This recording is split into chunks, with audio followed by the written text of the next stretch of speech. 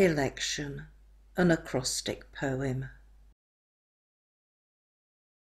Everybody knows who's best. Lost causes are forgotten. Election fever is a test, and criticising seems the best way to sell yourself and party. I really now have had enough of all the words and paper, now shrouding mist and fluffy clouds, a miasma of vapour.